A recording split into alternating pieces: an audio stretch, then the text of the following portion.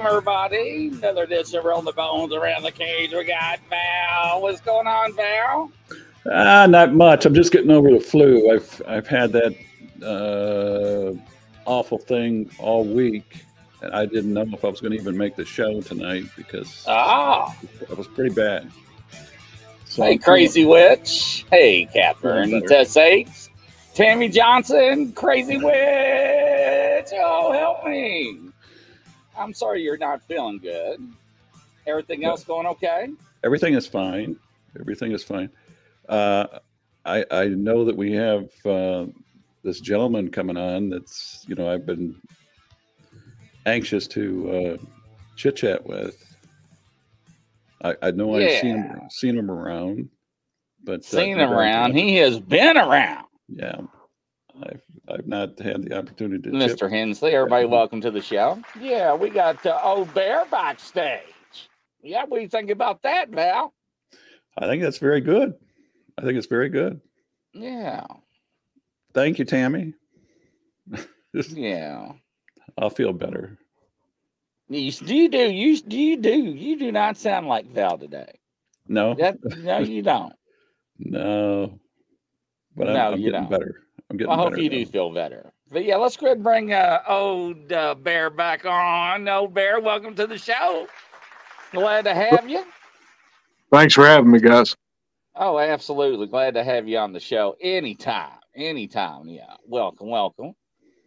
So, uh, introduce yourself for people that don't know about you and give us a little history on you. Well, um, everybody knows me as Old Bear. Uh, it's been my CB handle. It's been, uh, I was given that uh, moniker by my first wife uh, due to a movie uh, with Sissy Spacek in it, uh, Coal Miner's Daughter.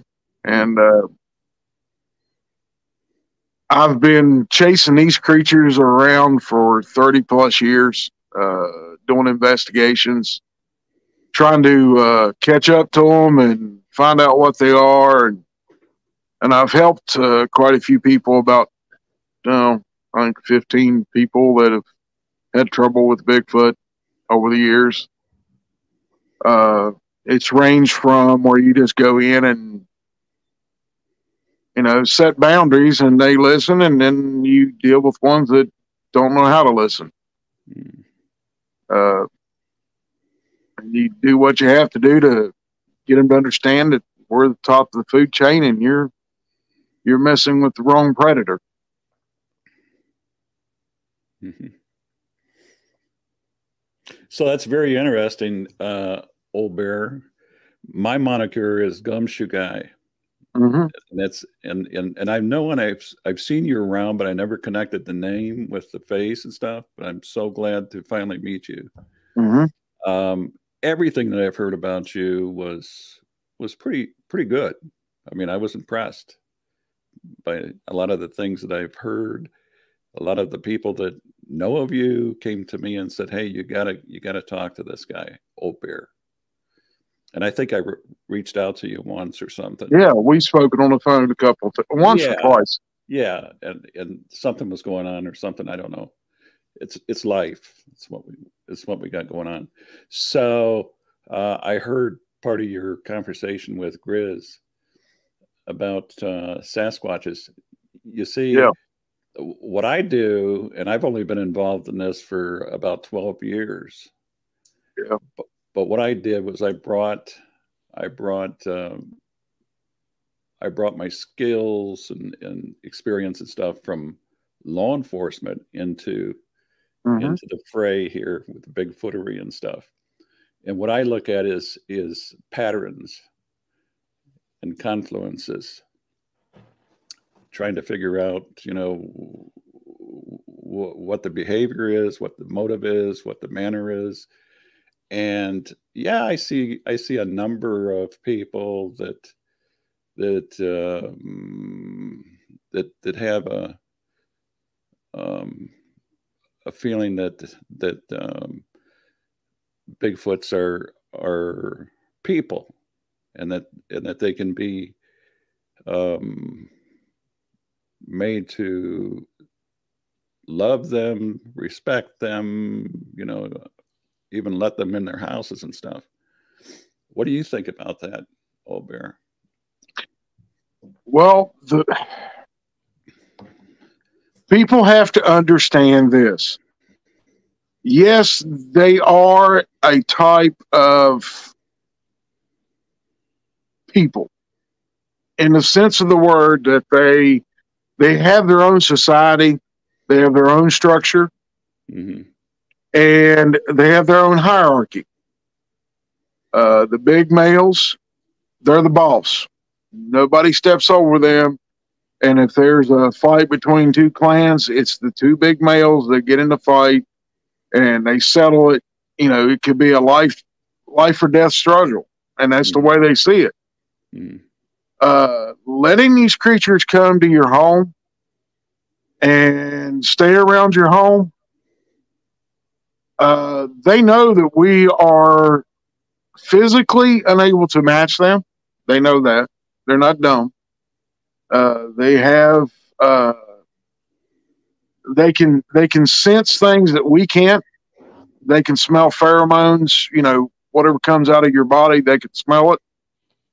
Uh, they can sense your fear through smell because we put off pheromones that show fear. All animals do it. Everything on this planet does it. Mm-hmm.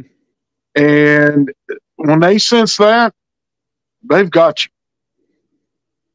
When you're letting them come to your home, and if they can intimidate you in the least bit into feeding them, supplying them with a, a, a, place to live, like in a barn, uh, and providing food for them, they're getting everything they want. But the first time you do it and don't do it on a regular basis, you're asking for a world of hurt in my book.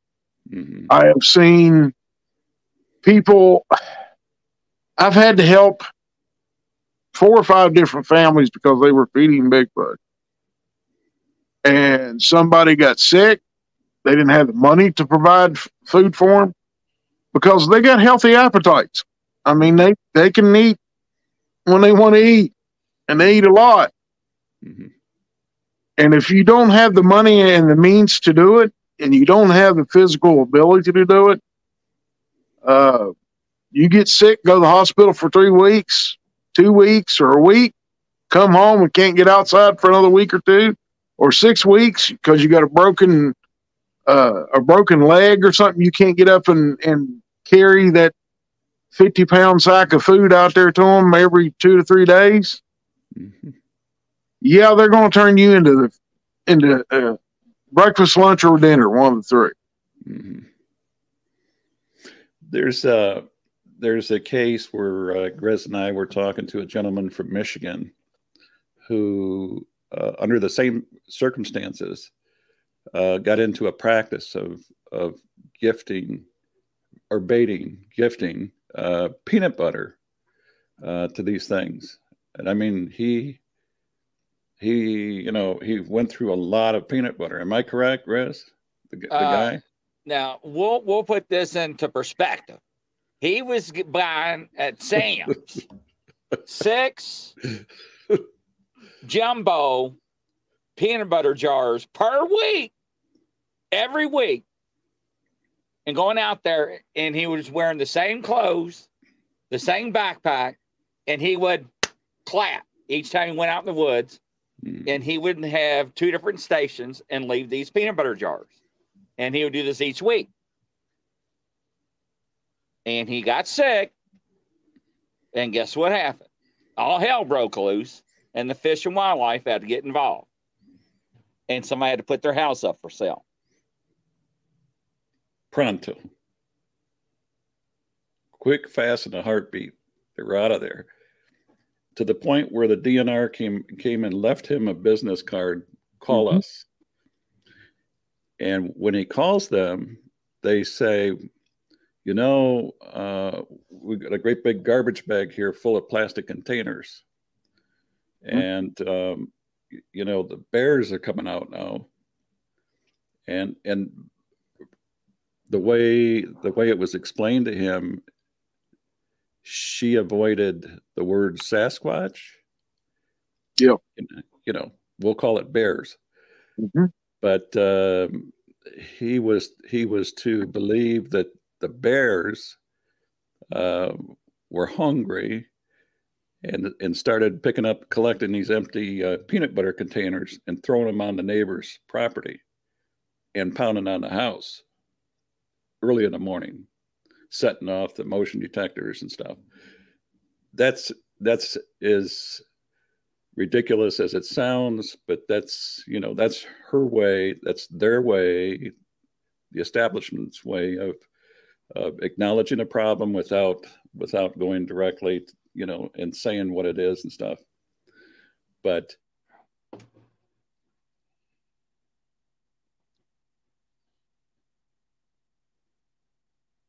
one or two of these databases that I work with, and you're absolutely correct. Everything that you said, it's like it's like clockwork. This is exactly what happens. You feed them, and you better you better keep on feeding them because if you don't, you're you're uh, what you're doing is is uh, you're doing a disservice to everyone around you. And this is something I've said before. You might think it's okay, but you didn't ask your neighbors.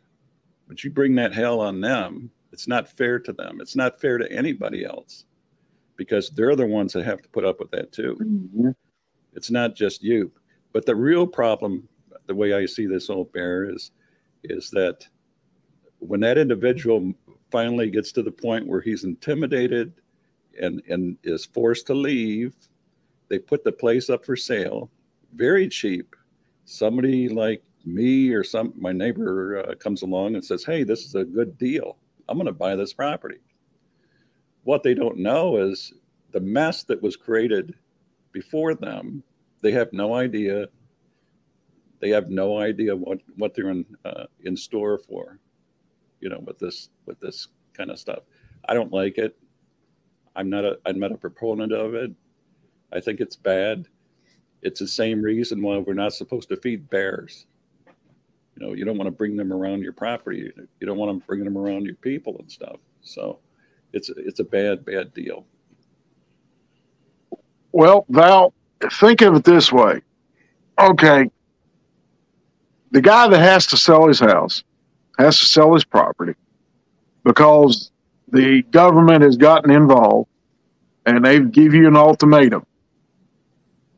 All right, you sell the house, you sell the whole kit and caboodle for some drop in the bucket just to get rid of it. And and there's laws, civil laws that when you sell a house, you have to disclose everything. Mm. You don't tell the person why you're selling the house. You don't tell them that you got that you were feeding Bigfoot six huge jars, you know, big jars of peanut butter two or three times a week and six times a week. Six times a week. Six, six jars Six, well, how many times a week? Six jars once a week. Yes, once a week. Once a yeah. week. well, you don't tell you don't tell the next person that bought the house. Six months down the road, these Bigfoot have done terrorized this person. Mm-hmm. He's got anecdotal evidence of these Bigfoot coming around, beating on the house. He's got pictures of dents in the side of the aluminum siding. He's got gutters ripped off. He's got windows broken out. Mm-hmm. And he's got a camera system up. He's got this creature walking across the yard and ripping part of the siding off or ripping, ripping in the uh, the back deck off the house. And he comes back and sues you for everything you own. Because first off, you put his life in jeopardy, his mm. family's life in jeopardy.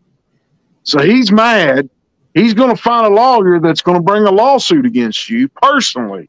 Mm-hmm. Take everything you got, put you out on the street. And then after that happens, the government's going to come back and make him get rid of his house for a penny or two on the dollar. Mhm. Because now they've jep- these Bigfoot have jeopardized someone's human life. And the government is going to make him sell the property either to the government or to some entity that professes to be private but is actually owned by the federal government. Now he's out of a house. You're out of everything you own because you were afraid to disclose that these Bigfoot were coming around and you were dumb enough to start feeding them. Mhm. Where does anybody win in that? There's not a human being that wants to live on the street. There's not a person that, that is buying a house thinking they're getting a great deal that wants to go in and put up with something that's seven, eight, nine, ten feet tall, 12 foot tall, five foot across the chest, covered in hair, and can rip you apart in the matter of seconds. Nobody wants to deal with that. Most of these people that buy these houses out of away from a city where these creatures tend to live most of the time because they do go into the urban areas of cities Definitely. Mhm. and you know because it's easy pickings that's the reason they go near the cities Mhm. easy food source they can go and rip a lid off a garbage container and, and eat like kings Mhm. but the thing of it is people that move from the city and they go and buy this house out in the country they don't know nothing about these creatures because all it's it's it's all fairy tale and makeup it's it's a bunch of bull people have been doing dope drinking saw these things you know it's a figment of their imagination Mhm. then they get the harsh reality of they are real. Now, you've jeopardized their wife, you've jeopardized their children if they have children there. And courts don't like that very much. So you're going to lose big time. Mhm. And even with grainy pictures of something walking across the yard, because he didn't buy the top of the line video system that would have put him in the poorhouse in the first place, Mhm. Court's going to look at that and go, well, somebody was doing something. And, you know, it, it does look like it might be, you know, some kind of an animal or creature or something. But you, sir, were the one that sold the house cheap and didn't tell these people. Mhm. There's laws against that. You have to you have to disclose when you sell a home or a property. You are required to disclose those things. Mhm. And every state has a different way of doing it. And there's lawyers out there that would love to make a killing off that Mhm. because that lawyer's in a high rise and where he lives is in a high rise. He ain't coming out in the country. uh, so it, it's the same thing that happens every time someone feeds one of these creatures. If you're doing it unknowingly, I have pity for you. But when you know about these creatures and you've seen them and you're still handing over that ham for from Christmas dinner or Thanksgiving dinner or, or Easter or whatever holiday you had, and it, and it was a 20 pound ham and you only ate five pounds of it, and you take that 15 pounds of ham out there and feed to these creatures, and you know it, you're doing nothing but putting your own life on the line. Mhm. Why do that? Mhm. Why take the chance of getting killed by one of these creatures?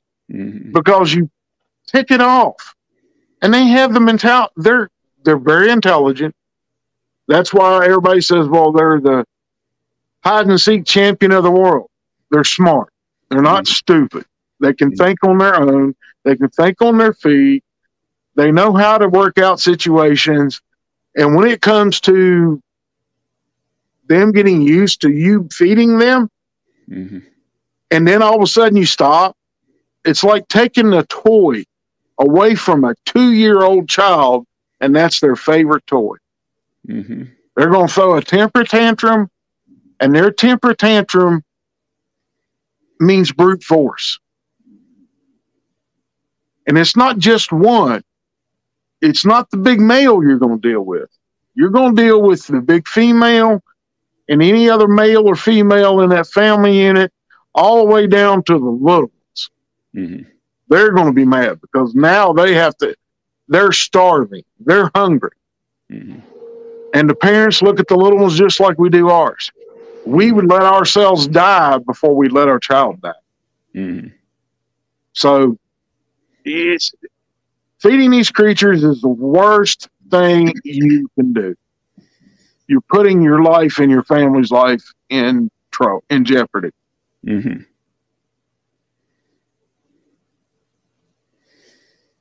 Yeah, I um, I always thought that it's it's my belief that Bigfoot has been around for for many many many years, many years. I'm from Michigan, by the way. Old mm-hmm. Hello, Brian. And um, I was just looking today through some some old notes that I had written down about Michigan's only petrograph petroglyphs that have been found in this state and it was in it's in the Upper Peninsula. But in any event, they say that those petroglyphs have been there for for at least 300 BC. That's a long time.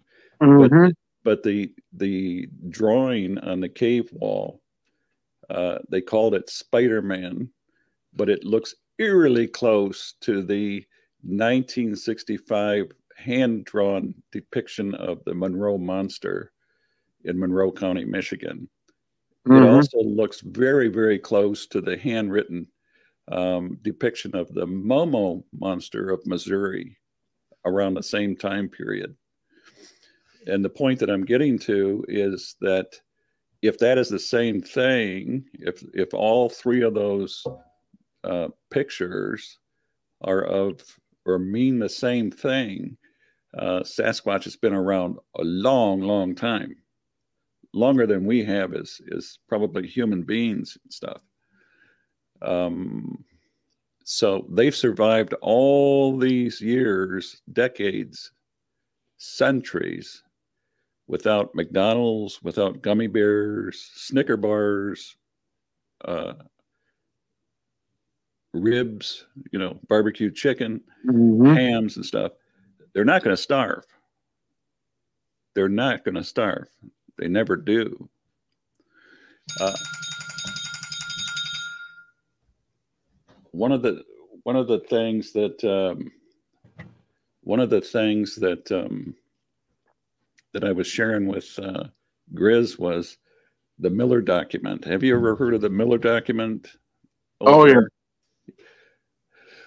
What do you make of that document?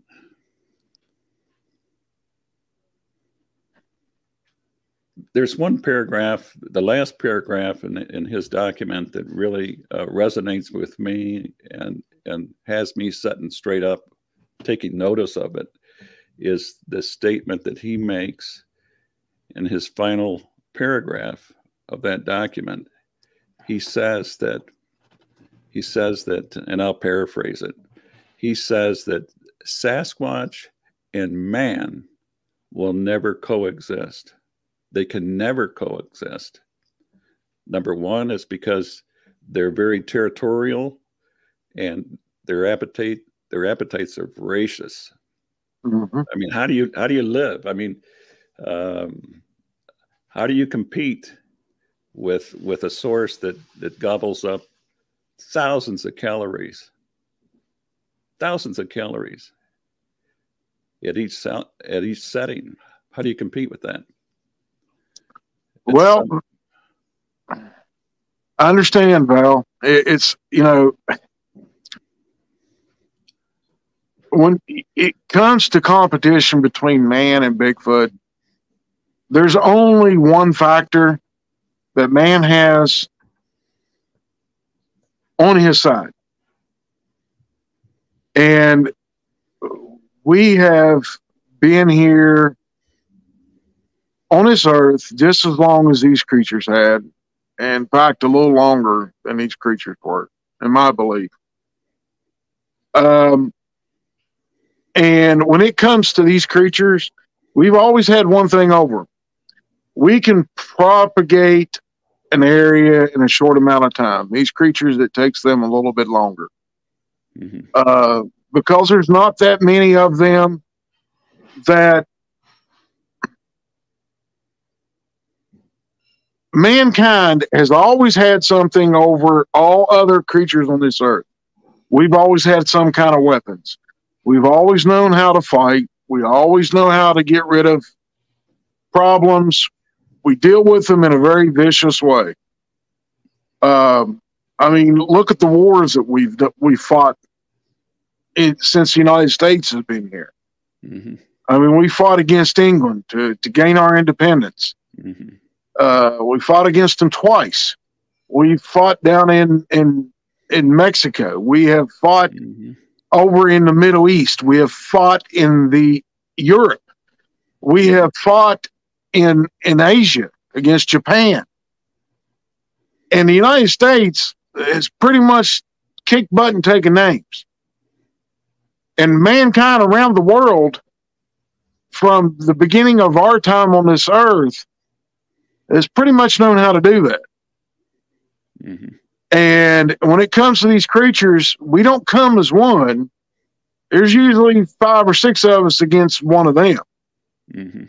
And we've always had an edge. We've always been a, we've always had weapons Mhm. that extend our range that we can reach out and touch someone and, and, and kill that person or animal or whatever before it gets to us because we theoretically are easy to take down Mhm.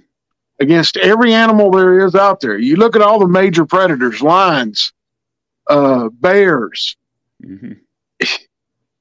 I mean, they can kill us. Mhm. You know, if it's a hand in hand combat fight against a, a lion, you're done. Mhm. Nine times out of ten, you're not going to kill it unless you got a knife or a gun with you. Mhm. Mankind, mankind has always had weapons. We have always figured out a way to best every creature there is on this earth. Mhm. And as long as we have that edge, there is no species on this earth that is going to overtake mankind. Mhm. And he Miller is right. He is right in the aspect of, hey, we can't coexist. So therefore, Bigfoot has always taken itself and put itself out in the far reaches of the the forest. You know, there wasn't that many of them. It, you know, a long time ago there wasn't very many, and and now they're starting to their numbers are starting to come up. People are starting to see them more, and a lot of times they see them as they're walking through the woods, just you know, a few seconds sighting, 4 or Mhm. five seconds, and they're gone Mhm. and and that's a typical sighting. But whenever people start doing this stuff of, well, I'll feed them.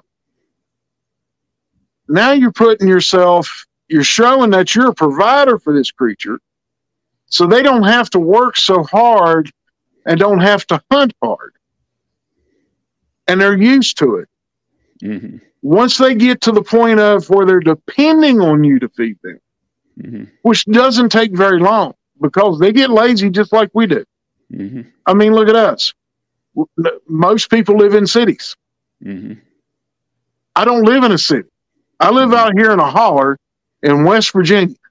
Mhm. And if Bigfoot wants to come to my house, they can do it. There's no fences. And if there is a fence, it ain't something that they can walk through. Mhm. But there is, there used to be a Bigfoot family that was residing right across the holler from me. Mhm. and they got the idea that you know it, we'll go where we want. They don't come to my property. I don't allow it, and they know it. You come over here, you're invading my home, my domain. Mhm. My wife is my responsibility. My children and my grandchildren are my responsibility. I don't want them here. Mm-hmm. Too much of a chance Mhm. of them getting upset over something stupid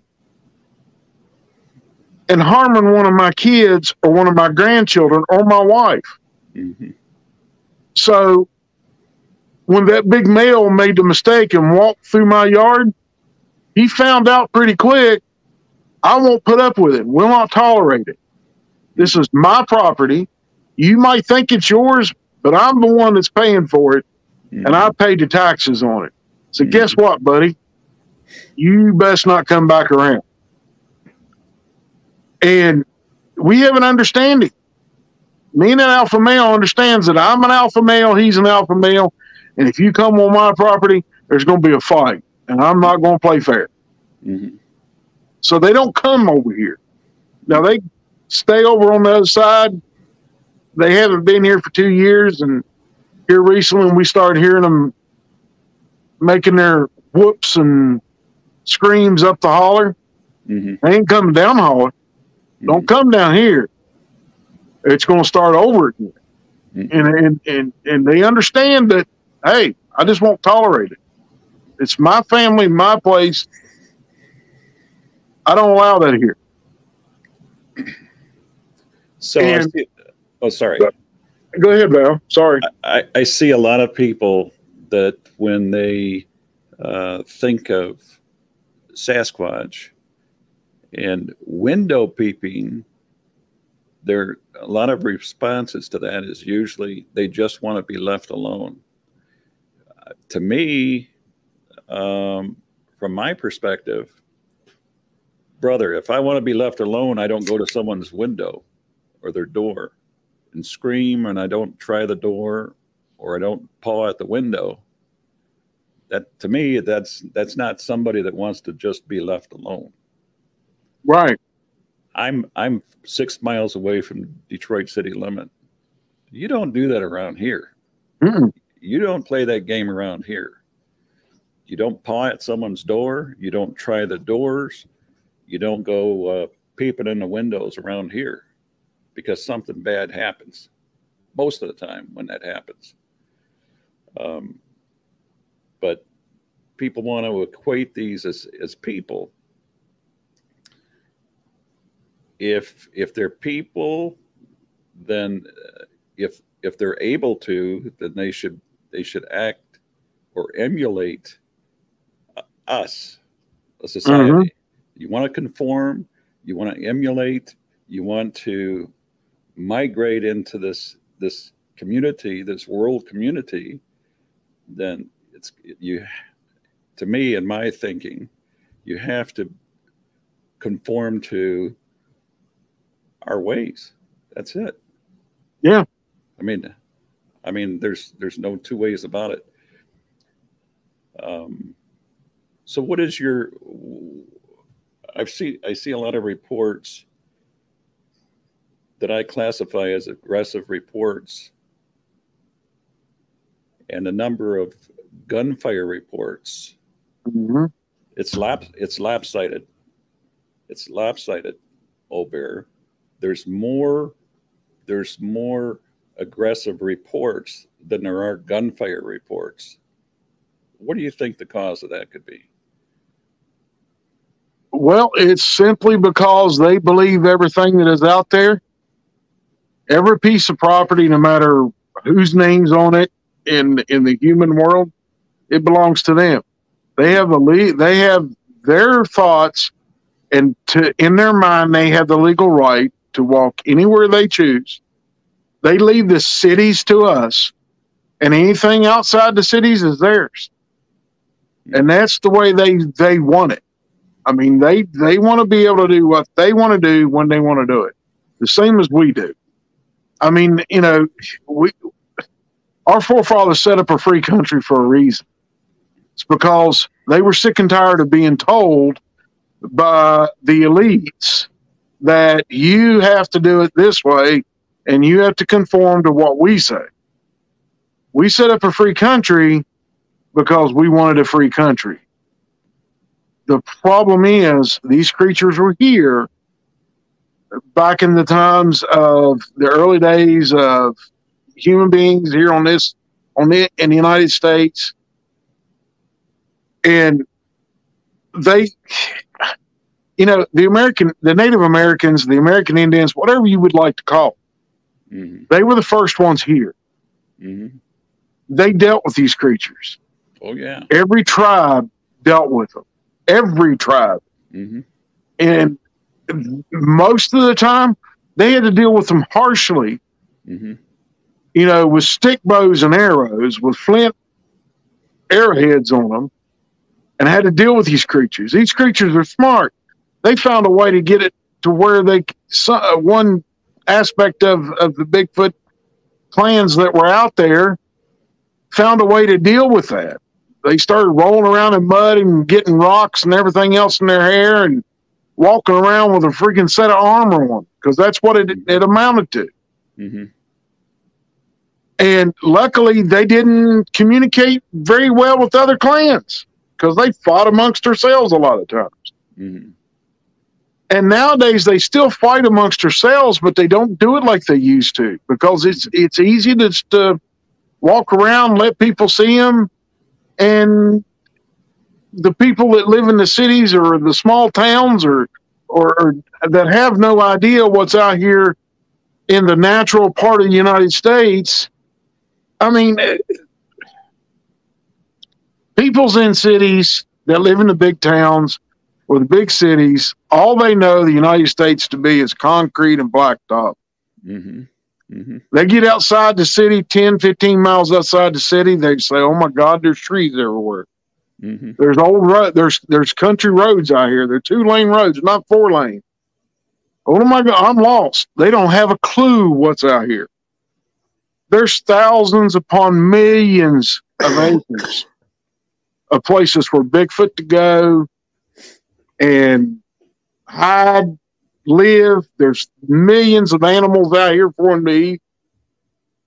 And when they come out of the city and they buy a piece of property out here, they're lost. Mm-hmm. They don't understand that you have to set your dom- dominance with these creatures. Mm-hmm. And then they want to feed them. And then they, they, you know, they get pushed around. These creatures are not stupid. And I don't know how many times I've said this over the years. I don't know how many people I've told this. But the moment you think of Bigfoot as some big, dumb, hairy creature, you have signed your death paper. Mm-hmm. You might as well just fill out your obituary and get it over with. So I know you for quite a while. And uh, would you explain to some of the people some of your encounters that you had to go across the country and help people out with some of these? Well, they want to call them rogue creatures, but uh, encounters that you had to deal with them for them. Well, they wouldn't leave the people alone. they can call them rogue all they want. Um, the ones that are rogue are the ones that are nice. They don't. They don't try to find problems with. They don't try to do anything to people. They just try to coexist and they hide. And and, and every once in a while they get seen, or they go around a family, and and they might peek in your window to see what you're watching on TV, see if it's interesting those are the rogues. An actual Bigfoot has a temperament of plain and simply, I'm the boss. You're going to do what I say, or it's going to end very badly for you. And that's the attitude that I have dealt with countless times of these creatures that have, of these Bigfoot that have come around people's homes and it usually starts out real it's it's real simple it's real easy for them to get around you they come at night they look in your windows they see you're watching tv they see that you're walking around your house you know you get up and go in the kitchen and get you a pop and a and a leftover uh, cheeseburger from the refrigerator, you throw it in the microwave, you go in and you sit down and watch uh, the Twilight Zone at one, two o'clock in the morning on TV. They like coming and watching that. The thing is, they see that cheeseburger as something they can eat. Mm-hmm. They know what everything we eat is. They have been around, they've watched this for thousands upon thousands of years. We are their entertainment in the most part. They don't have TV, they don't have satellite television, they don't have cell phones, they don't even have two way radios. So they have no way of communicating like we do. They go in and they see this whole side, of, like in a Rocky movie, the guys in there punching those sides of beef. Mm-hmm. You know, Sylvester Stallone's in there punching them for because that's the way he's training. They mm-hmm. see all that and they're like, man, that's dinner. Mm-hmm. Then they start to equate you because now, once they've got to the point, they've got brave enough to come up and start looking at your windows at night watching your wife walk through the house in a in a nightgown or or in a a robe or whatever, and they've seen your wife come out of the bathroom and out of the shower and come in and get dressed in the bedroom, they can see. They're not stupid. They see a woman and she ain't got hair all over, but hey, she's got the same parts that the female Bigfoot have got the young ones equate that as that could be my partner. Mm-hmm. They start getting interested in the females in the family, the young males in the clan do. Then they start getting bolder.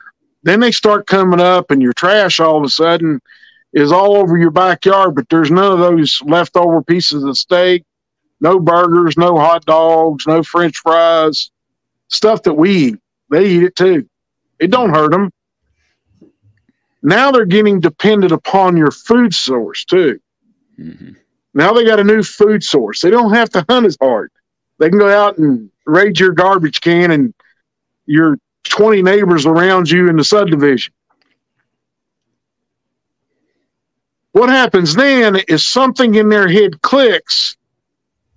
Hey, if I can scare these people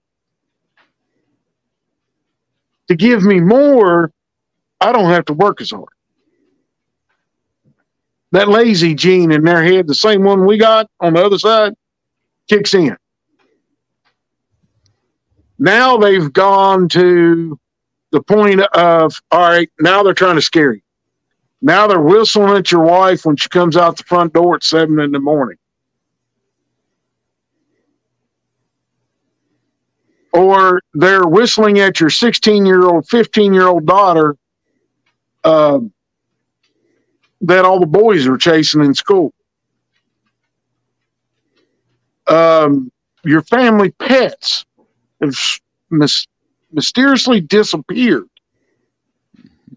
Or if you own a, a, a little coop of chickens out back, all of a sudden they're starting to disappear. Mm-hmm couple of them at a time, three of them, four of them. You had 20, now you're down to four.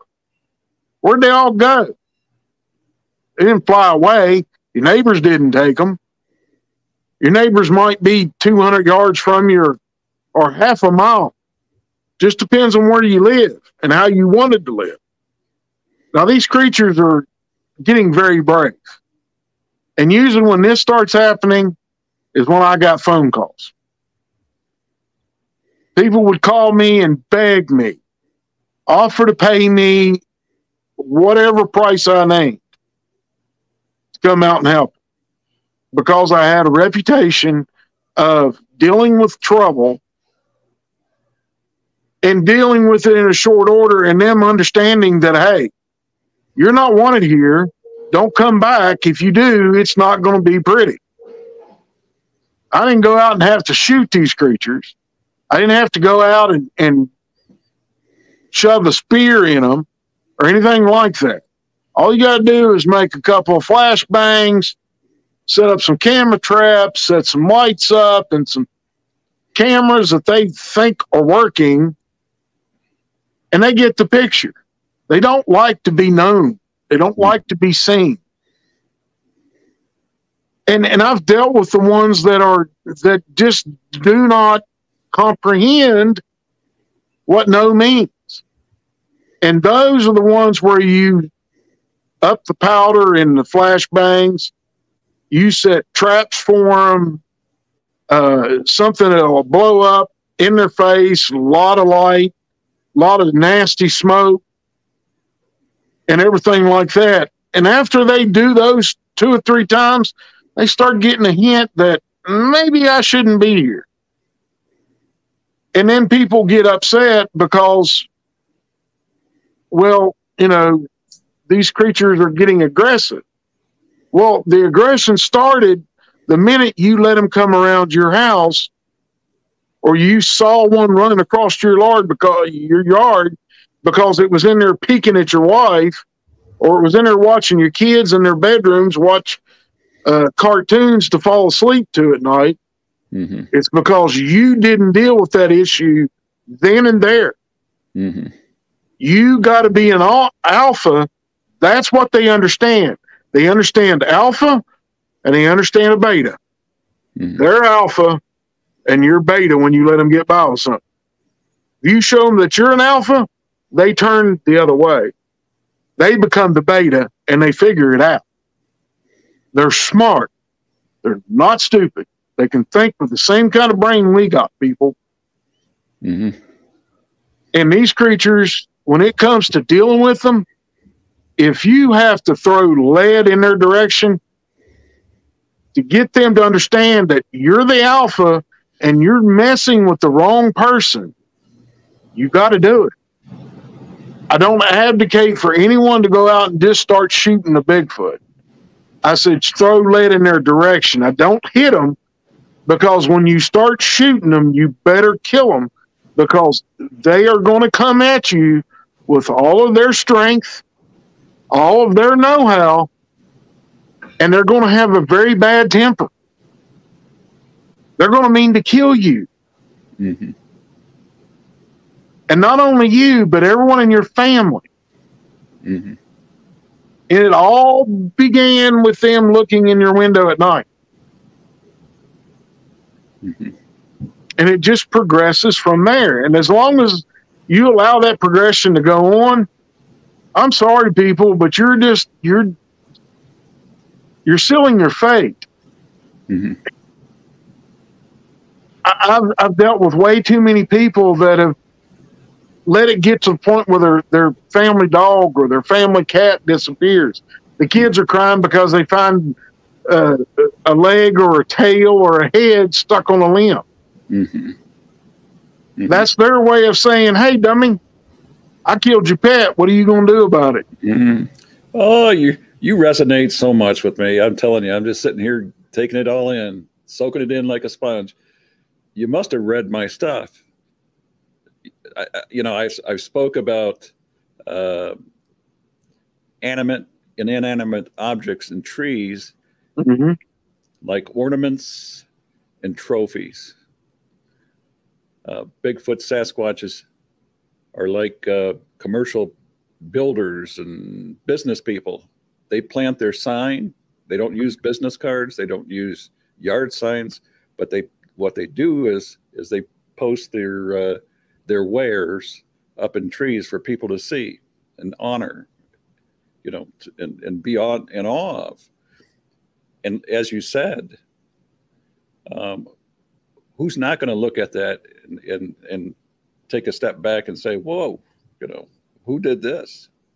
How does it, how does a horse get up in a tree? How does a cow get up in a tree? Um, you know, who wants to mess with that? But uh, yeah, a lot of that resonates with me. The window peeping, it's it's um, the window peeping is is reminds me of in law enforcement voyeurism, window peeping. Mm-hmm. People that know profiling know that a lot of serial criminals start out with window peeping and it progresses along in stages, just as you explained in, in Bigfootery.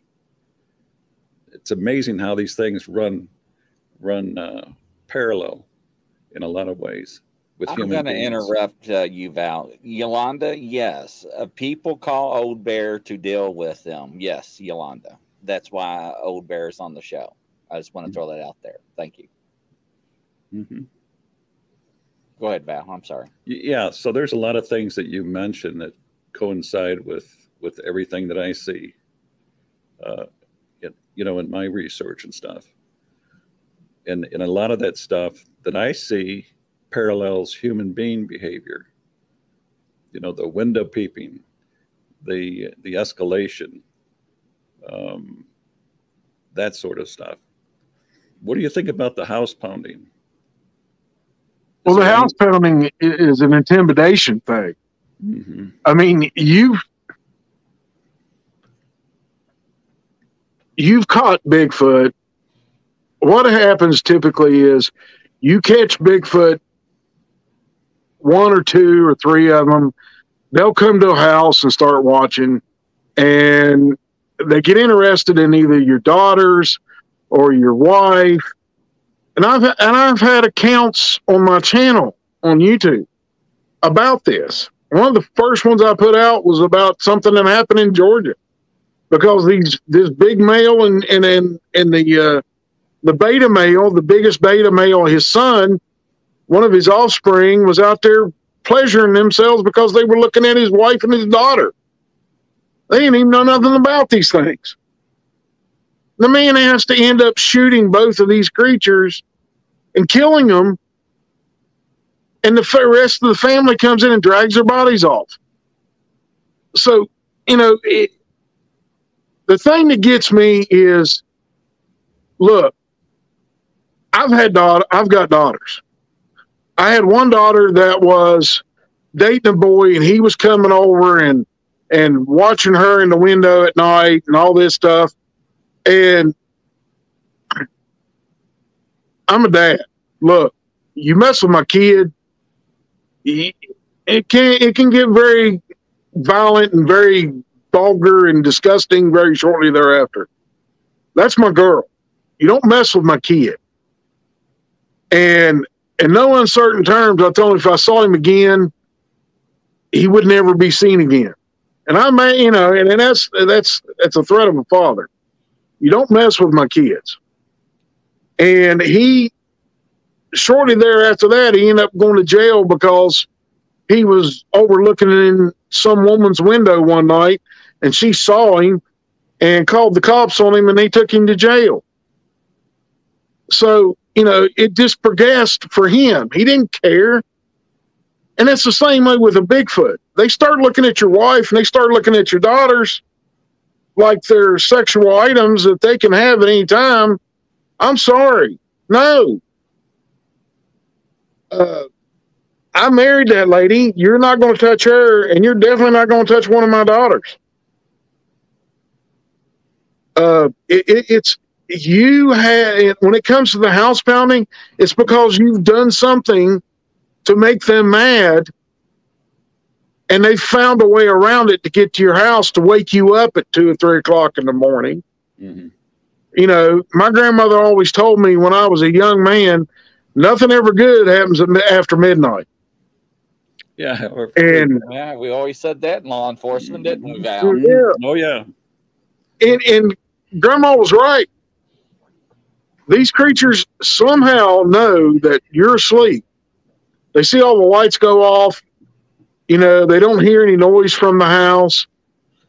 And it's usually 11, 12 o'clock. When you're in bed, you're sound asleep. And all of a sudden, you get woke up at 1, 2, 3 o'clock in the morning by them pounding on the side of the house. It's because they're showing their disdain for whatever you did to make them to where they couldn't come and watch your daughter or your wife get undressed. I'm sorry, but at that point, you're going to have to get very forceful. You're not going to walk outside with the the Louisville Slugger and take one of these things on. Mhm. It's not a human being. they'll take that Louisville slugger and slow it, shove it from one ear to the other. I mean, they're vicious fighters. They do, whenever they fight each other, there's no holds barred. And that's the way they fight. It's like getting in a street fight and bringing everything that you can stuff in your pockets to help you win, except for a gun. Mm-hmm. It, it, it is a vicious thing to have to deal with. They can get very mean and very aggressive. When they get to that point, you've got one or two choices. You either fight to win or you leave and let somebody else deal with the problem. And then it goes back to what I was telling you earlier. Mm-hmm. How much do you want to lose? You want to lose everything? Mm-hmm. There's a uh, there's a re- there was a report out of Canada. I want to say I want to say it was in Ontario. I can't be for sure. I don't. I see so many thousands of reports and stuff. But this one struck me um, very hard. And what it is, is a, uh, a, rest stop, much like we see around the interstates around the country, mm-hmm. up there in Canada, probably not as busy because it's not as populated. Right. Nevertheless, um, as the report goes, um, a um, a truck driver um, pulls off the ramp to park to go use the bathroom and stuff. Mm-hmm. But there's a car. There's a car blocking the egress. He's blocking the, the egress um, to the uh, rest area with those lights on, the door open, and there's nobody in it. It's like somebody just walked away from their vehicle. Mm-hmm. So he goes around, parks his truck, parks his rig, goes in and uses the bathroom, comes back out. He notices a uh, young lady, single mom, with her child, small child, sitting on a picnic table. And he's still looking back at that car back there. And um, he mentions that to that lady, and she says, "Yeah, it was there when when I pulled in." So he says, as as he was talking to the young lady, their attention is drawn to across the freeway to a rising hill. There they see a Sasquatch carrying what they believe to be a man because they could see the shoes, the legs. He's making it up the uh, hill. That's his vehicle right there, left to block and impede the traffic and stuff. Um, when they seen that, they both felt it was time to leave, and without saying anything more, they got in their vehicles and left. They didn't say a, yeah. another thing. They never said that they called the police or the authorities or anything. They didn't want to get involved. Just leave. That's typical of the reports that I see. And some people tell me, Val, you just you just uh, talk about the, the the violent, the negative stuff. No, I'm I'm, I'm telling you, I'm telling you what people aren't telling you. I'm showing you what what uh, people aren't telling you. Mm-hmm. I'm not a parrot sitting up here reciting a, a, narrative to make you feel good, to make it nice and stuff.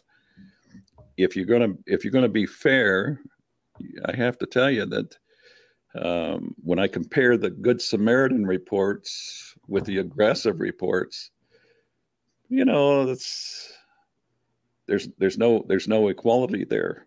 No, in other it's words, two to three to four to one. Oh, more than that. Oh, they are more than that. Uh, 28 reports to uh, I don't know 3,000, 4,000 yeah. reports. There's no there's no uh, there's no measuring that. But that's the reason why it's done like that.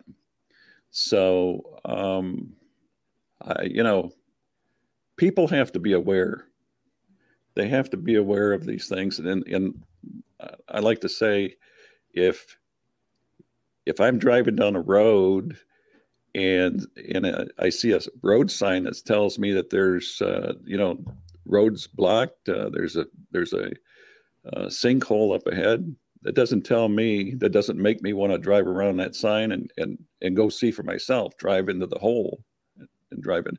I want people to let me know. I want to be informed, uh, and I'll make my own decision. Do I right. go around this sign, or do I find someplace else to drive? You know, and that's the way. To me, that's the way a lot of Bigfootery is. People can either choose to know and be aware, or disregard it, dismiss it at their own peril. Well, you're 100% right. I mean, that's just that's just the way it is. Mm-hmm. Every time, you know, if you if if people go and look, I, I don't care. You can go. Don't subscribe. I don't care. You don't have to subscribe to my channel. It's not a requirement. Go and look at the videos and the accounts of the ones I've done. Mm-hmm. I've got over 200 videos. And out of that 200 videos, I've maybe got four or five, maybe six, maybe 10 reports of Bigfoot where they're helpful or where they're nice. Mm-hmm. And the rest of them are all these animals are these creatures or people. Call them what you will. I don't really care. Mm-hmm. The people that call them uh, another another people in this world, they've never ever had to deal with one of these creatures that has tried to grab a little seven or eight year old little blonde headed girl. Mm. I had a, a Bigfoot tried to grab this little. The boy wasn't three foot tall. Mm. He was in his backyard in a sandbox that his daddy built for him. Puts everything, the man worked his tail off to provide for his son a place to play in his backyard. He loved to play in the sand and the dirt. He had little Tonka trucks, little Tonka this, little Tonka that, excavators, everything. His daddy paid for every bit of that, and he worked his tail off to pay for it. This family had a different skin color. You can see me. I'm I'm just some dumb old white redneck from West Virginia. That's what the, most people call me. I don't care. You can label me whatever way you want. I don't care. But this kid, see the look on this kid's face when his parents called me and I show up and have to go to this house in a completely different state, southern, southwestern North Carolina, to see that look on that boy's face, that boy was terrified. And that was 10 days after it happened. Two male Bigfoot come in the yard and tried to grab this kid. His daddy was sitting there at the kitchen table with sliding glass doors. And beside those sliding glass doors was a 12 gauge loaded with double aught buckshot. That man went outside and fired five times at them creatures. They finally turned and ran. And that boy's face was still the same as when his daddy picked him up and carried him in the house. That boy was terrified. He wouldn't talk. Mom and dad would have to pick this boy up, carry him to the bathroom so he'd go to the bathroom, and then clean him up constantly because he was that scared. He was afraid to move. Mm-hmm. I had to go deal with those creatures because, and I'll call them a creature because, hey, to me, they're not human beings. Mm-hmm. You can call them a people, but they're they're not human. Mhm. You know, they have animal tendencies. hmm I had to deal with those creatures, chasing them off by. I think I ended up setting 24 different traps for him to walk through to get to the backyard. Even after he shot at him with double aught buckshot, they still came back. He didn't hurt them. That hair is so thick, it doesn't make any difference. It takes a very high powered rifle to hit to, to hurt them, hurt one.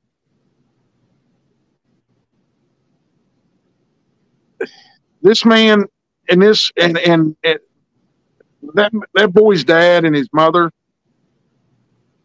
It's they were at a complete loss to what they could do to solve the issue. They didn't have a clue. hmm They didn't even know these creatures were around. They just came in the backyard in broad daylight, hmm not at first thing in the morning, not late in the afternoon where everybody says, well, they're more active. You know, they, yeah, they are more active. These creatures took it upon themselves in the middle of the day hmm to walk in the man's backyard and try to grab his son. hmm If he wouldn't have been sitting there, that boy would have been a missing person. hmm Mom and dad would have never known. So yeah, I, I've I've seen, I've had interactions. When I go when I when I went investigating, I went and found ones that were nice. And by nice, I, I don't mean they didn't charge me. They didn't try to make me into dinner.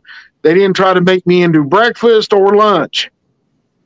They would let me get within a certain distance to look at them. But if I got too close, hey, they either moved or the big male let me know I was too close. And and it's those are the ones you go investigate.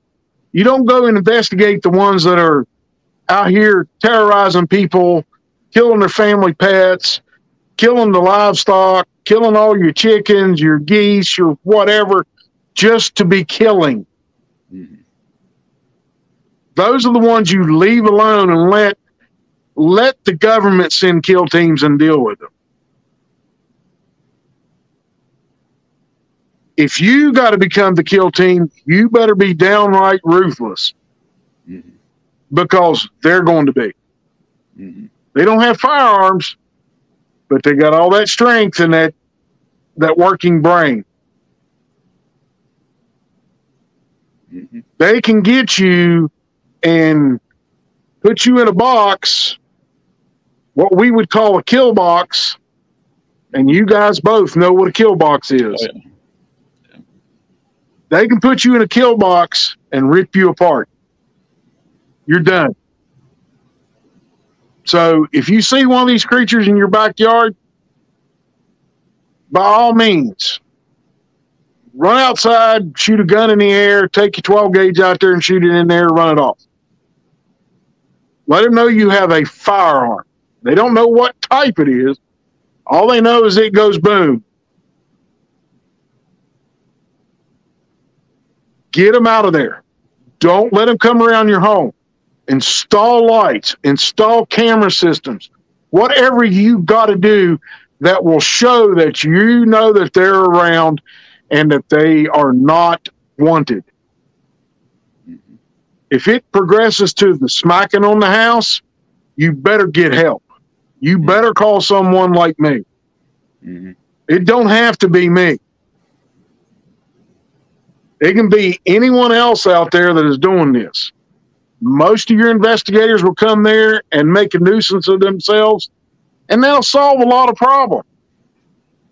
But if it's to the point of them smacking the house, throwing limbs on top of your house, throwing rocks on top, and I'm not talking about the little number 57 limestone hmm they're throwing at the top of your house. I'm talking about rocks that are as big as my head hmm and throwing them on top of your house, trying to make it go through your roof hmm because it does progress to that. hmm I've seen it. hmm And and that account of those Bigfoot going after those miners Mhm. all them years ago, in the, what was it, 1885? When they done that, is because those miners were trying to protect what they had and what they were doing, and these creatures didn't want them there. hmm That night long fight is what Bigfoot will do. They don't know when to stop. hmm if you don't show them dominance real quick, it's going to progress to that. And when it comes to that almighty fight, you've lost because you don't have a cabin that's made out of 14 or 16 or 24 inch thick logs to protect you. hmm You've got a stick big old house hmm or a house made out of blocks, something they can bust through in no time. hmm Don't ever let it get that far. It gets that far, you better left and let the government take care of the issue because I'm not coming. I, I'd like to see my grandchildren reach at least 25 before I go from this earth. hmm But I'm not stupid. I know when to say, hey, I can't handle this. hmm It's time to pick up the phone and call somebody. Make a Have call to your sheriff. Have you ever ran into situations like that? Yeah. I was asked by a state trooper uh, to come and help him on his farm, his family's farm, and uncle's. hmm and we dealt with five of the most vicious Bigfoot I have ever dealt with in my life. Without And doubt. everything, huh? Without doubt. Without doubt, most Yeah. vicious. And I set up flashbangs that would blow the cans apart. They walk right through them. hmm So if, if people think that these things are all cute and cuddly like your little, like the little cat that's laying right here on my wife's lap, hmm I got news for you. Come to West Virginia, come to Pennsylvania, Ohio, Kentucky, North Carolina, South Carolina. For years, these creatures have been terrorizing people. The rogue ones are the nice ones. Most of these creatures, 80, 90% of them, they don't want nothing to do with you. They want you to leave them alone. Best thing to do, leave them alone. So why doesn't that apply to them as well uh, with people? You know, people just want to be left alone, don't they? Most Well, yeah, sure, Val. But the problem is, um, when you get outside, the, they see the cities as where we're supposed to live, and they get everything else. Mhm. That is how they have shown to think. Over 30 some years, I have figured that much out on them. Mhm.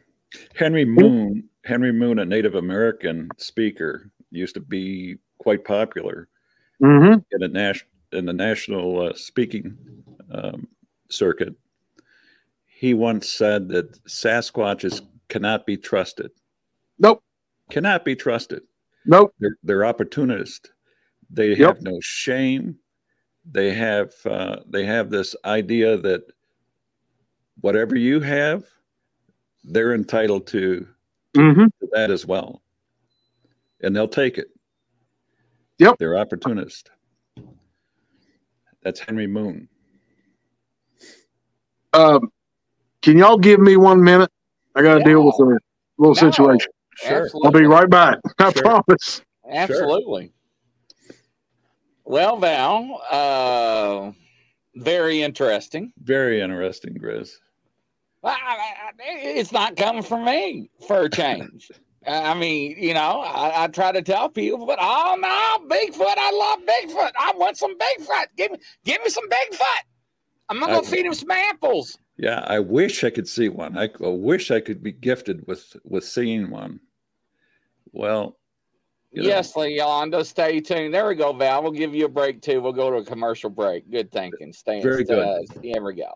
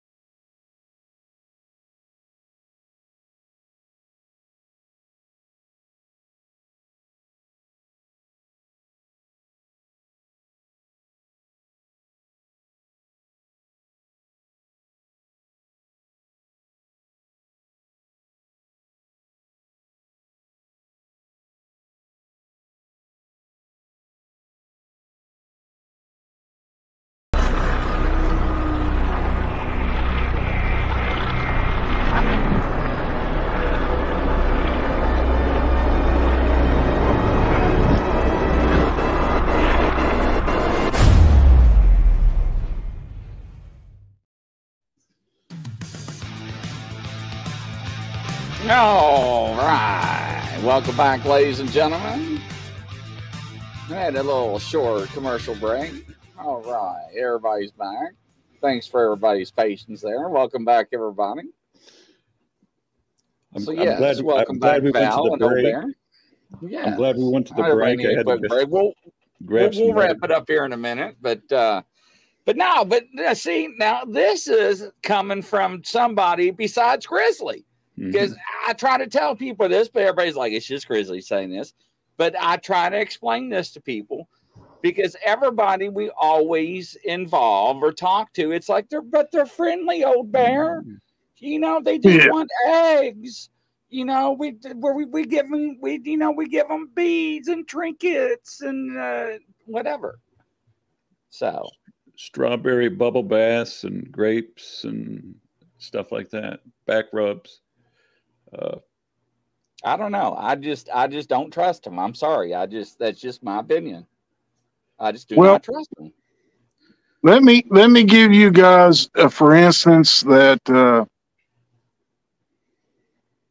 this older lady her husband passed she has her own place she lives out in the middle of nowhere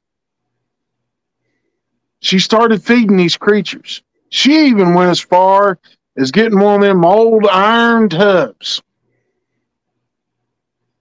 filling it with water once a week on Saturday, putting rose petals and milk in this tub of hot water. And according to her,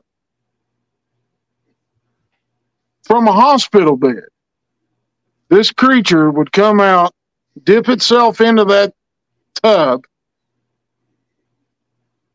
and done that for six months. One day she went out and she has no clue what she did. She either didn't have the water water temperature right to make it happy, or she didn't put enough milk in it, or she didn't put enough rose petals in there to make it happy. This female Sasquatch smacked this woman 10 foot through the air, knocking her 10 feet from where she was standing, watching this creature, came up, got out of that, stepped into the tub, didn't like it, ran over, charged her, knocked her 10 feet through the air. 74 year old woman. Put her in the hospital. The only reason that Bigfoot didn't kill her is because her son pulled in the driveway. Hmm. So the next person that comes to me and says, Oh, they're all cuddly, I'm going to take him right out in the middle of the woods in the dark. I'm to do a Bigfoot howl that's aggressive. Let them deal with the consequences. I'm tired of all these people that want to think that Bigfoot is your buddy. He's not, nor is the female. They have one thing in life two things protect their young and eat. And if you interfere with those two things, you just signed your death warrant. That's your problem. You deal with it. Pick the phone up and call me, and I'm going to ask you what you did. And if you created the problem, I'm going to tell you sorry, but I'm not dealing with it. I've done it before, and all it does is they they they quit for six months or a year, then they start over again. It doesn't. It, it's it's a never ending cycle. mhm. People that think these vicious animals are cute and cuddly don't learn from their mistakes. They keep doing it. Mhm. So there was a question in the comments a minute ago. Yeah. And uh, what caliber do you recommend? You can place shots in the head or the throat of a Bigfoot with a high power caliber of 30 6, 270, 308, 3030, 300 Win Mag, 338 Lapua, um, uh, 338 Rum, any caliber. If you can place the shot effectively in the head and right underneath the chin, or in the back of the head or the back of the, the neck, effectively with that gun, being scared half to death, then it's the right caliber. If you shoot him anywhere else, shoot yourself the second bullet Oh wow. because at that time they're going to be on you.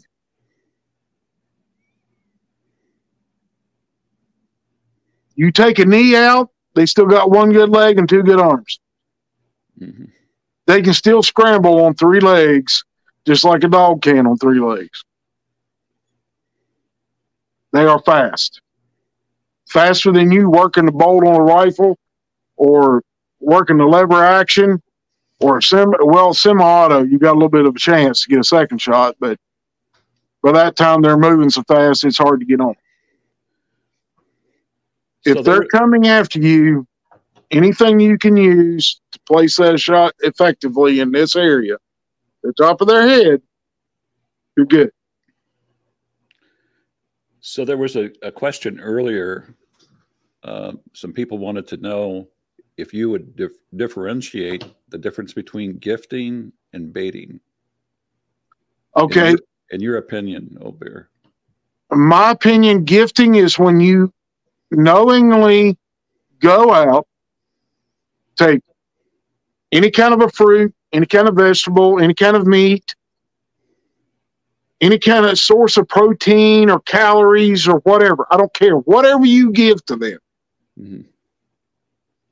And you put it in a certain spot and it disappears every time and you see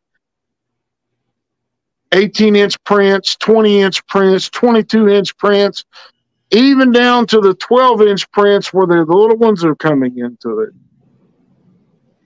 Or you're taking little trinkets out there you're taking beads you're taking uh, little cars and stuff like that out there and you're giving it to them freely that's gifting if you're going out and you're putting peanut butter and you're taking a, a long screw and you're screwing that peanut butter cap into a tree and you twist it on the tree and you cut the end off to bait deer, you're baiting a Sasquatch too. They love the taste of peanut butter. So do deer. Now you've got two viable food sources for that Bigfoot. Or if you're putting corn out for deer, it's a viable food source for Bigfoot.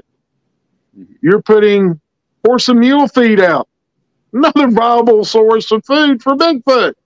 Mhm. Anytime you do anything like that, that's baiting animals.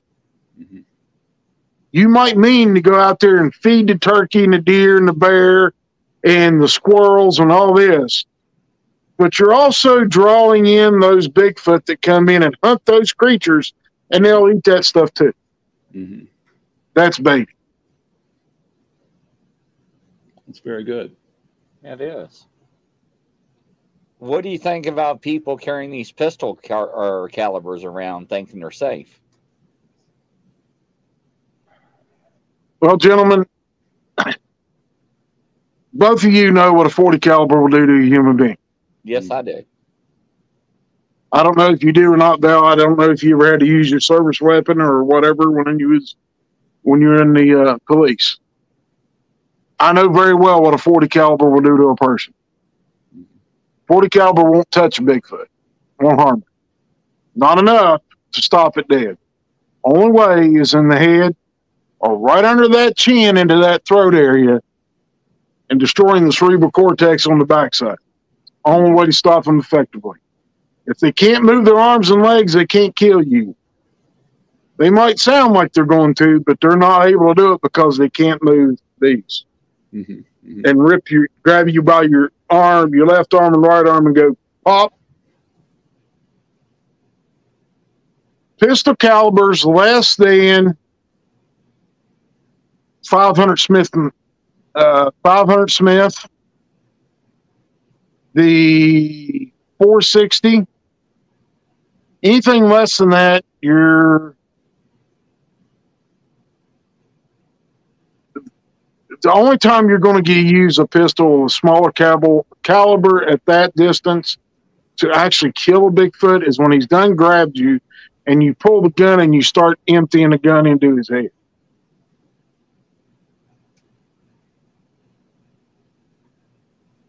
I can kill a deer with a 40 caliber. I can kill a deer with a nine millimeter. I can kill a bear, walk up to a bear and finish a bear off. I bear hunt. They're dangerous.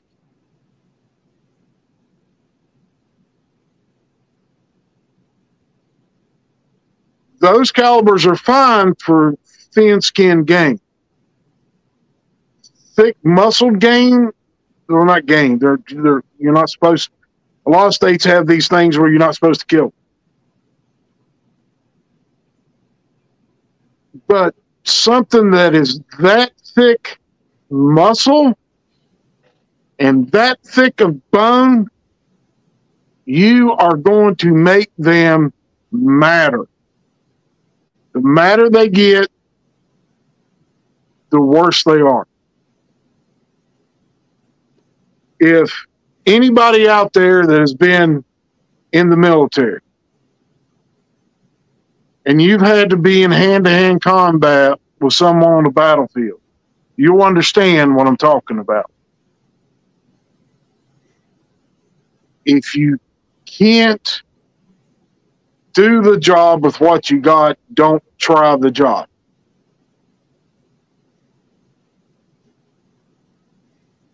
You have to be ruthless. You have to be down and dirty in the mud, in the trenches, willing to fight for your life and someone else's life. Mhm. You have to be willing to give your life to save someone else. Mhm. And in hand to hand combat, it's not the same as two humans. You got to remember they act- they can outreach you, and even when their arms are stretched all the way out, they can still rip you apart. Mhm.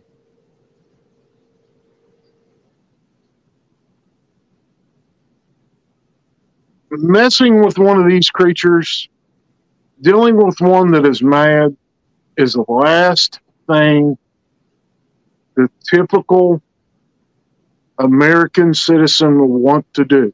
It's not like living on the streets of Detroit or Chicago where everybody's got a gun and and and you don't know who the criminals are and you don't know who the you don't know if the person you walked past a minute ago was a criminal or a good person. These creatures you will know one thing for true. They can kill you at the drop of a hat. It may piss them off, or you may burp and make them mad, or you may eh, be out in the woods and be there with two buddies standing there talking in the woods because you was out hiking that day and one of you expel gas in some way shape or form and make them mad. Because more than likely when you're in the woods they know where you are they know what you are doing and they know if you got a gun because nine times out of ten they're going to smell the oil that you put on the gun or on the leather that it's in or the holster or they're going to smell the gunpowder you fired in that gun Mhm. last weekend because you didn't clean it Mhm. they know when there's a firearm. They don't like to deal with them, but if they think they can get something over you, and you not be able to pull that gun and you make them mad, they're going to do it. Grizz, what kind of weapon did you guys carry on the job? Uh, we carried 40s, and at the end, we went back to nines because the state went to the nine mils. Yeah. Old Bear, we carried 40. When I retire, as in police culture, they hand the weapon back to you. You retire in good standing. A handshake. This is your, this is your, uh, this is your job well done. And to this day, I've got two of them. And that's what I was carrying during my sighting. And there's no doubt in my mind that it's seen it's seen that weapon on my on my side. Oh yeah. But I was very, very grateful that I got the good stare down and and I was able to leave without without being molested, let us say. But um, speaking about sniffing and smelling, according according to my data, from what I see, there Mhm. are a lot of reports of besides the window peeping, there is a obvious uh, infatuation with people going bathroom or people having sex. The Mhm. voyeur, going back to the voyeurism aspect of Bigfoot Sasquatches. Lost a video, Val. Okay, let's see if we can. There we go. There you Yeah. go. So, so there's a fatuation with with people going bathroom. People stop uh, parking their vehicles, stepping out, going to the bathroom. That's when a lot of these encounters happen in parked vehicles. Uh, people at campgrounds, uh, going to the porta johns. That's when a lot of encounters happen happen during uh, uh, camping activities and stuff. Why do you think that is? It's because human beings are in their backyard. Mhm. Bigfoot know when people are around. We just got home earlier today from me and my wife going camping. Now, I used to be the mindset I'm good in a nylon tent. Uh-uh. Not anymore. If it was up to me and my wife would let me, our camper would weigh about 20,000 pounds Mhm. Because I would add so much steel to that thing. All four walls, the roof, the flooring, everything. I'd have to go out and buy a one ton diesel just to pull it. And it's only a 22 foot long camper, Mhm. 26, including the tongue and the bumper on the back. Mhm. It's a nice camper. I love going camping with my wife. Mhm. I love to take and go camping and and go with my fam my little brother. He goes camping and and we have a ball every time we go. But every time we go, I carry my 40. My brother carries a firearm when he goes. My wife carries her personal firearm, which is the 357 Magnum. Now, when you see a five foot tall woman pull up a 357, you better be scared because that woman's a deadly shot. She don't miss. She hits where she wants to hit. And I carry an AR. And sometimes I'll take my 300 Magnum with me, depending on the area that I'm going to.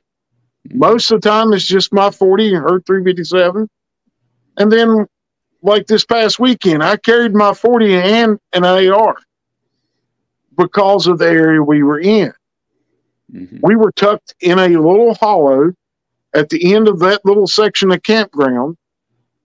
And the whole time we were there, everybody was down near the bathhouse. Mhm. Now, we heard footfalls Friday night. We also heard um, whoops from way back up in the hall. And that was long before the footfalls come down. And we're overlooking a family, three kids, mom and dad, in a eight or ten man tent, and then a tent in the back of a pickup. And from what I could tell, none of them had firearms. Mom and dad didn't have firearms. Mhm. It's perfectly legal where we were at to have them.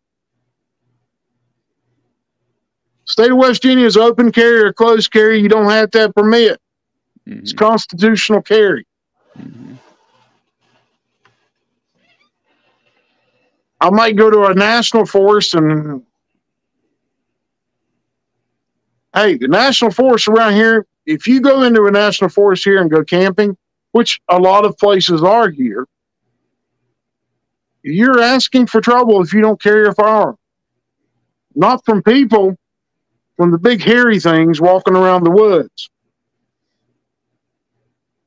They like to come and see what you're doing, and if you are dumb enough to leave food out, it's not the bears that are coming down and raiding your cooler at night.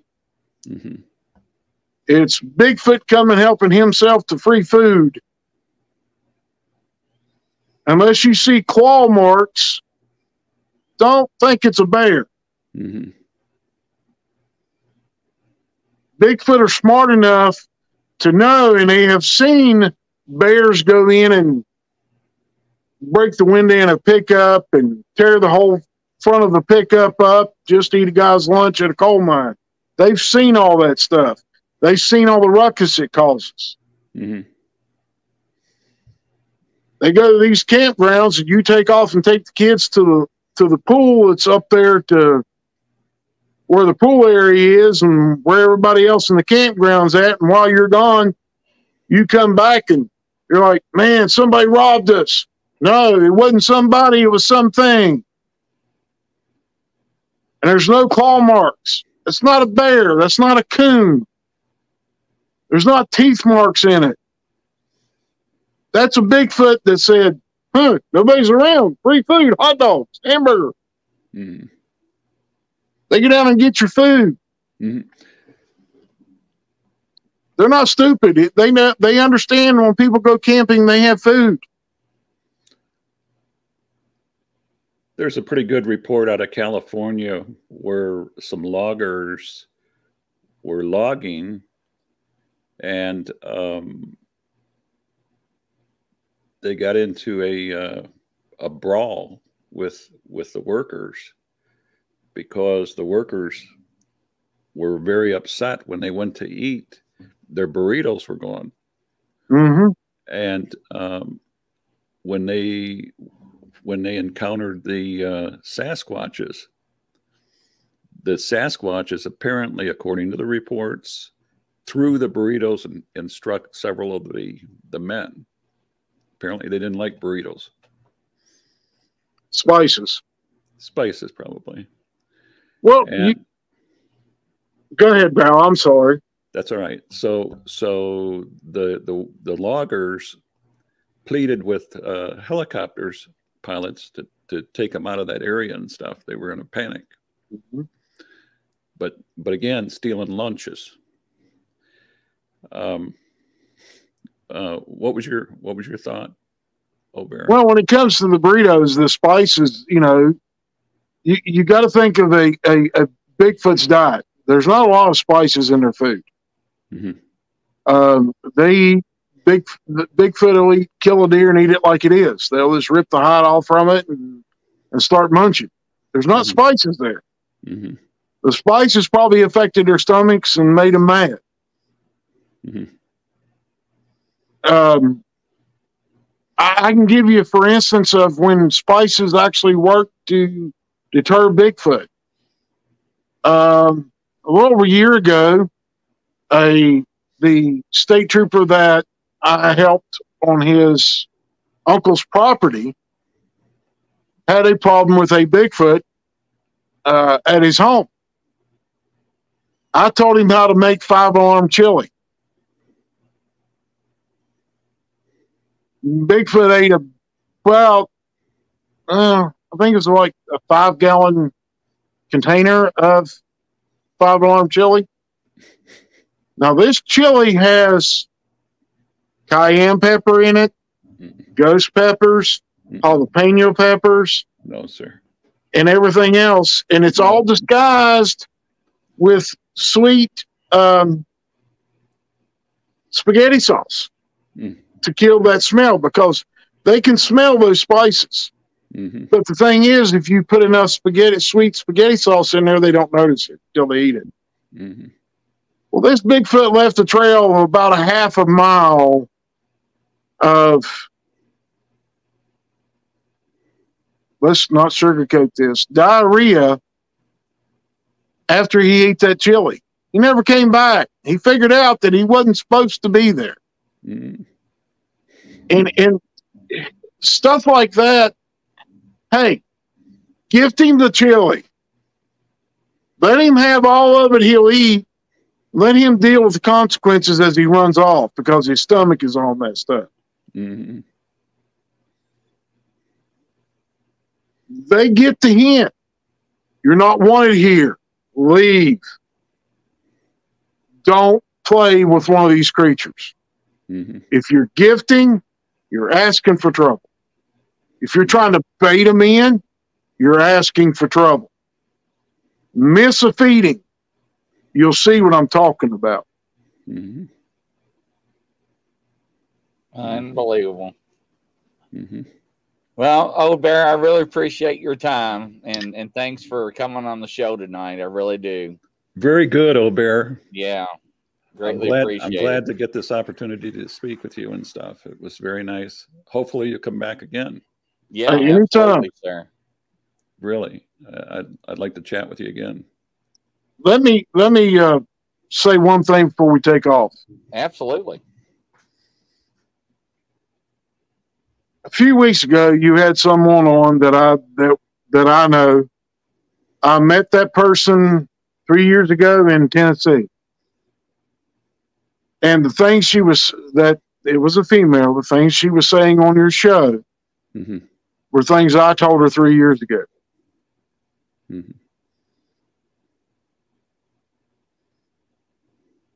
Please be careful when you sit down and listen to, to these other people out here that are talking about Bigfoot.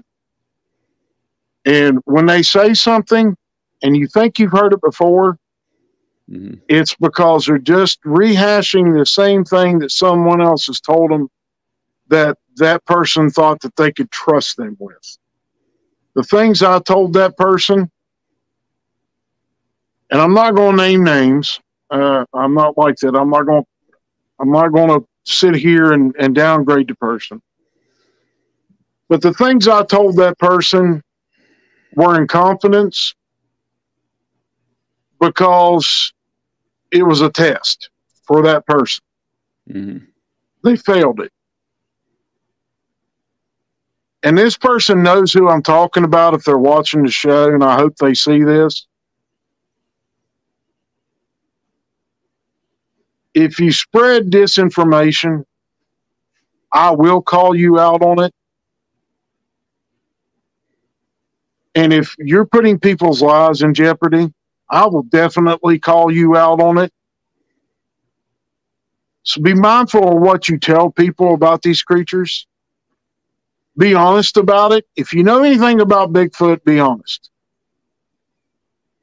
Don't lie to people.